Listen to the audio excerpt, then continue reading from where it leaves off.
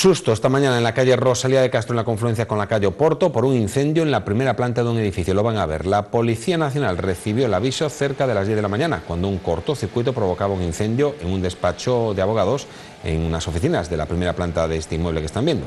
Los bomberos evacuaron a los vecinos de los otros pisos por seguridad, pero no necesitaron atención médica.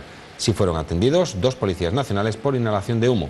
Afortunadamente no hubo que lamentar daños mayores más allá de los materiales. Durante cerca de una hora la policía cortó el tráfico en las calles Rosalía de Castro y Oporto.